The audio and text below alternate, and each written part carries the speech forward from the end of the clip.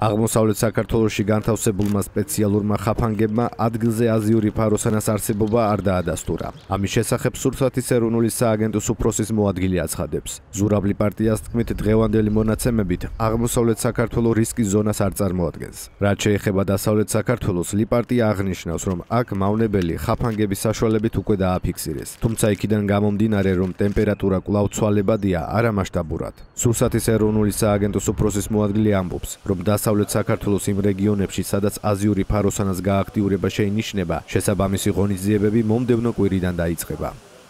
დღეისათვის მავნებელი არ ფიქსირდება აღმოსავლეთ საქართველოსში განლაგებულ ხაფანგებზე, ხაფანგებზე, რაც იმის საშუალებას გვაძლევს ვთქვათ, რომ ჯერჯერობით არ წარმოადგენს საშიშროებას დღევანდელი მდგომარეობით.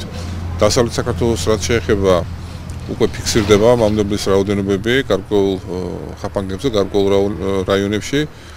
თუმცა ჯერჯერობით მასიური გამოსვლას ადგილი არ აქვს ტემპერატურის მერყეობასთან დაკავშირებით, მაგრამ ბზოლის ღონისძიებებს ფიქრობთ შემდეგი კვირიდან დავიწყებთ იმ ადგილებში, სადაც გამოჩნდა ეს მამნებელი.